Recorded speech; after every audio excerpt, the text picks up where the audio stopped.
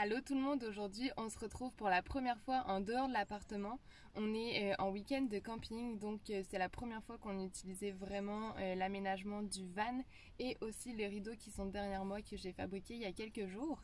Donc euh, aujourd'hui, on va essayer de te faire voir en vidéo comment je les ai fabriqués. Euh, c'est des rideaux qui sont simples à faire, qui sont efficaces. On a vraiment été content de l'opacité en fin de semaine et aussi qui sont simples à utiliser. Il n'y a pas euh, 10 000 étapes le soir avant de te coucher pour t'installer. C'est simple et rapide. Tu juste à glisser les rideaux. Donc euh, si tu veux qu'on te fasse voir euh, ça, tu as juste à regarder la vidéo. C'est parti donc euh, je te retrouve dans ma cuisine euh, pour parler de rideaux. C'est un peu spécial, sauf que dans un 2,5, euh, on n'a pas un vaste choix euh, d'endroits pour filmer. Donc aujourd'hui, ça va se faire dans la cuisine avec le petit îlot ici. Ça va être plus pratique pour vous montrer les choses. Donc la première modification à laquelle je veux m'attaquer, c'est le grand rideau central ici. Euh, que je vous ai déjà parlé que sur les côtés il manque euh, du tissu parce que en fait la Dodge Caravan c'est malheureusement pas cubique, c'est pas carré donc euh, ça fait comme large puis ça se rétrécit au niveau du toit. Donc au niveau du toit, la largeur qu'on a ici 1m45 c'est parfait.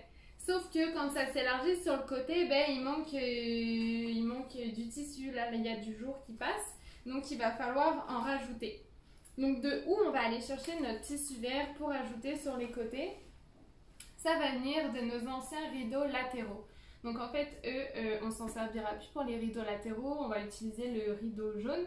Donc euh, dans ces rideaux-là, on va pouvoir retirer le goujon et on va venir tailler à l'intérieur euh, des bandelettes qu'on va venir rajouter sur les côtés et qu'on va fixer avec nos super bandes adhésives. Donc euh, c'est parti pour euh, l'atelier découpage. Euh, je vous ferai pas euh, tout le blabla encore. C'est un peu la même chose que quand on avait découpé, si t'as pas vu notre ancienne vidéo pour les matelas. En fait, je me suis dit on a besoin de 15 cm supplémentaires latéraux. Puis vu qu'il y a un bon 2 cm qui va se rajouter, qui va devoir euh, se superposer avec le grand tissu, j'ai pris 17 cm. Fait que là, je vais faire mes repères de 17 cm un peu partout. Et puis après ça, je vais tracer euh, mon grand trait et je vais venir découper.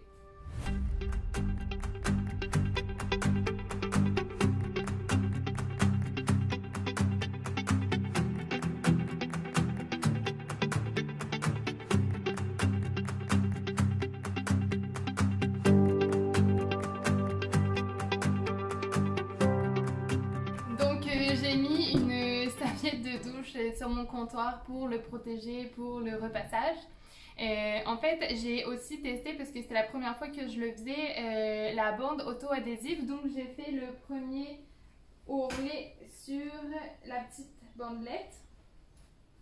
Donc en fait, parce qu'il y avait un côté où c'est déjà fait, c'était déjà fait sur le rideau, et donc il me restait à le faire sur l'autre côté. Donc euh, je viens de faire ça, ça tient déjà pour vrai, je suis quand même contente, c'est quand même euh, bien propre.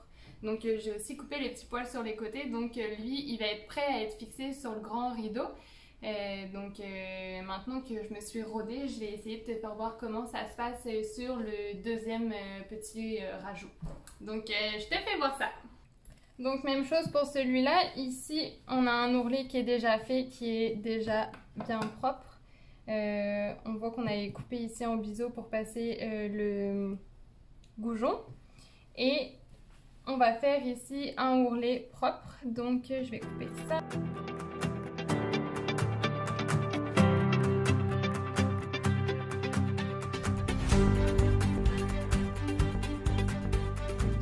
D'un bout à l'autre.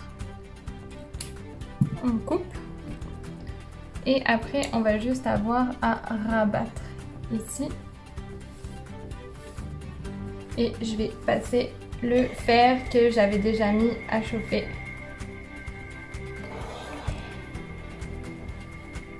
Donc on a euh, nos deux bandelettes ici. Il va falloir maintenant euh, venir les fixer sur notre rideau.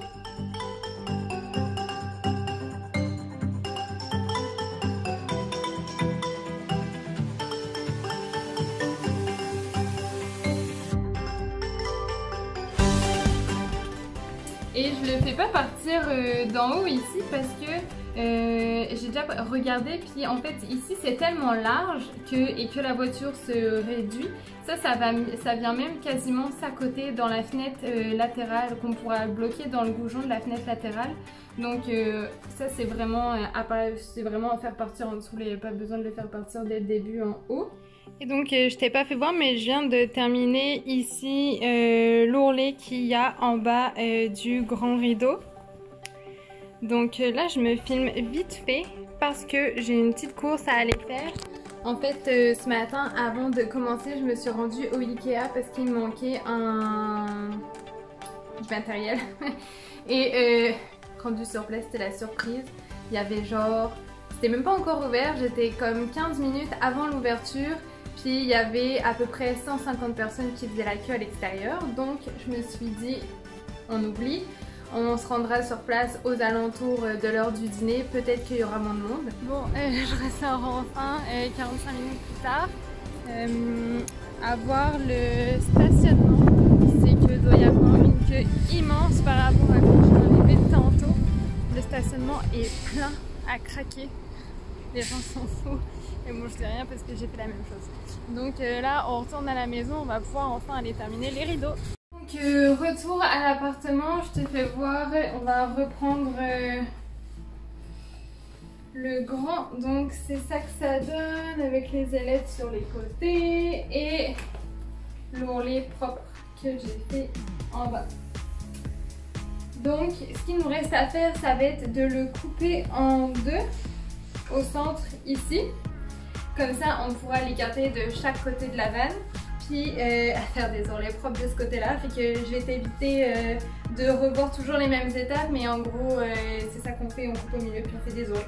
Let's go donc les rideaux jaunes, j'avais mesuré que pour chaque fenêtre latérale, le top c'était d'avoir au moins un mètre de largeur pour couvrir bien la fenêtre et qu'il n'y ait pas de lumière qui passe vraiment sur les côtés. Donc ça devrait bien couvrir. Et en plus, euh, il faut prévoir aussi de faire... D'un côté, on va avoir un bel ourlet, mais il va falloir encore que je refasse un ourlet de ce côté-là. Donc je vais venir découper 1 mètre dans le 1m45 qu'on a là. Malheureusement, dans la largeur qu'on a, vu qu'il nous faut 2 mètres puis qu'on a juste 1m45, je vais pouvoir découper une fenêtre latérale ici. Et ce que j'ai été chercher, le fameux, le fameux Graal du Ikea que je viens d'aller chercher, en fait c'est ça ici. J'appelle ça l'objet chronile. Euh, en fait c'est la même chose que la bandelette qu'il y a ici. Ils en font pas toutes les couleurs, il y en a seulement des blancs. Mais au moins ça va me permettre de récupérer la chute du rideau qui va me rester. Puis de venir euh, coudre ça ou le thermocoller et ça va me faire un deuxième rideau. Comme ça, mon autre rideau jaune, le deuxième, euh, je ne vais pas avoir à l'utiliser pour la vanne. Et ça économise du tissu. Parce que j'aurais aussi pu découper euh, mon deuxième euh, rideau latéral sur mon deuxième rideau jaune. Mais je veux le garder pour la maison. Donc voilà ce que ça donne pour le premier rideau latéral. donc là, on voit bien que ça coulisse bien. Il va nous rester aussi à mettre un petit ruban pour pouvoir l'attacher sur le côté. Comme ça ici. Donc, j'ai mis les crochets. J'ai fait les ourlets un petit peu partout. Donc lui, il est terminé. Il nous reste le plus... Je vais rester poli, le plus compliqué. Euh, donc j'ai ma chute de tissu jaune ici. Je vais... Là, c'est là où j'avais découpé ce morceau-là. Fait que je vais prendre l'inverse. Je vais prendre ici où que il y a déjà euh, le grand ourlet qui est fait. C'est ici que je vais venir poser ma bande pour les tringles, euh, ma bande blanche. Fait que c'est ici que je vais la mettre. Je vais découper encore à la bonne taille. En bas, en largeur, pour les rideaux, j'ai pris 65 cm. Et à l'intérieur des 65 cm, je viens faire l'ourlet en bas. Donc je vais couper, je vais faire l'ourlet. Il va rester l'ourlet du côté et poser ma bande blanche pour euh, passer les petits crochets. Donc euh, Dernière étape et après on vous fait voir le résultat dans la vanne. Je viens de repasser la bande blanche ici. Donc ça y est, c'est collé. Par contre, dans celui-là, les passants, j'en aurais pas besoin, j'aurais pu les couper mais je les garde quand même au cas où. Les, les, petits passants ici où tu passerais ta tringle, il y a comme des petits fils de nylon, un peu comme des fils de pêche. Et j'avais peur que ça fonde avec le mon fer à repasser. Puis euh, c'est comme un peu plastifié quand même. Donc ce que j'ai fait, c'est que j'ai mis un linge blanc comme ça par-dessus. Et je suis venue passer mon fer à repasser en appuyant bien. Puis euh, en prenant le temps que ça chauffe bien. Puis euh, c'est ça, je pense qu'il faut attendre que ça refroidisse quand même un peu pour être sûr. Mais c'est... Pour l'instant ça tient bien. Et qu'il va manquer un petit point de couture. Donc ça touche, on touche à notre fin. Il reste l'ourlet et l'ourlet du bas. Il me reste 10 minutes avant que Quentin arrive de la job et que je me dépêche. Donc pour finir, on se retrouve dans la vanne. Je vais te faire voir euh, comment ça s'utilise. Donc on a installé les petits goujons en bois ici qui viennent se bloquer dans le plastique de chaque côté ici. Euh, donc ça tient bien. Ensuite, il faut juste tenir les goujons pour pas qu'ils s'arrachent à chaque fois. Et on vient faire glisser le rideau. Donc c'est juste simple comme ça. Le matin, quand on a terminé, on vient rapprocher le rideau. Et ici, sur le côté, j'ai cousu deux petits rubans comme ça qu'on vient accrocher sur la poignée ici. Donc comme ça, la journée, t'es pas gêné, le rideau est attaché et puis on est tranquille. Donc c'est ça pour les rideaux sur les côtés. Si je te fais voir euh, à quel point on peut facilement enlever les goujons, tu juste à les enlever comme ça. Puis ici, on voit les petits crochets en métal qui font que c'est facile à faire glisser sur le bois. Et puis ici, j'avais rajouté, c'est pas la même chose, le même ici parce que j'avais juste rajouté à racheter une petite bande blanche au Ikea que j'avais fixée sur le rideau. Donc on la voit ici. Euh, ça m'avait évité d'utiliser deux rideaux. Donc euh, voilà, on le réinstalle dans le plastique ici et dans l'autre ici. Et puis le matin, quand on a terminé, on retasse tout sur le côté. Et voilà. Pour ce qui est du grand rideau, lui, il m'avait demandé plus de travail. Donc on voit les petites ailettes ici que j'avais rajoutées. Elles sont fixées sur le côté comme ça, aussi avec des petits rubans pour la nuit.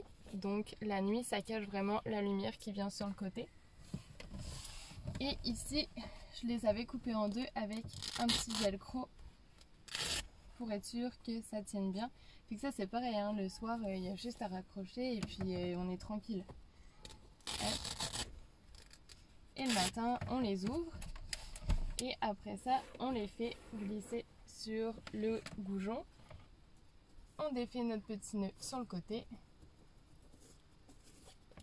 Et lui aussi il sert pour le jour.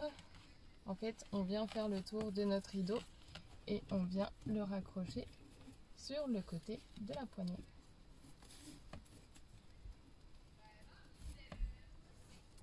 Ici, pour cela, ça tient le goujon avec euh, une petite pince comme ça ici, noire en métal, qui se prend simplement dans une petite partie en plastique qui est d'origine fixée dans la vanne. Donc nous, on vient pincer notre goujon et puis on vient se pincer sur le plastique. Ça tient super bien, puis les rideaux, c'est quand même léger, donc ça abîme pas euh, la vanne. Et ici sur le côté, les goujons, on a mis une petite perle pour pas que les, les, les fixes en métal sortent. Donc là, c'est bloqué. Et puis, il y en a certains ici du bord du rideau qui sont refixés dans le plastique. Donc, c'est ça que ça donne. On tire euh, sur le goujon, on bouge les rideaux comme on veut, on rattache la journée et puis c'est fait si tu as aimé cette vidéo, tu peux nous mettre un petit pouce bleu. Si tu trouves que c'est une façon de fonctionner pour les rideaux qui peut servir à quelqu'un d'autre, n'hésite pas à partager la vidéo. C'est pour ça qu'on a fait le tuto pour le partager au plus grand nombre. Euh, et puis euh, dans les prochaines semaines, euh, on va avoir la vidéo aussi de ce week-end en camping qui va sortir. Donc si tu veux pas rater la sortie des prochaines vidéos, tu peux aussi t'abonner. À la prochaine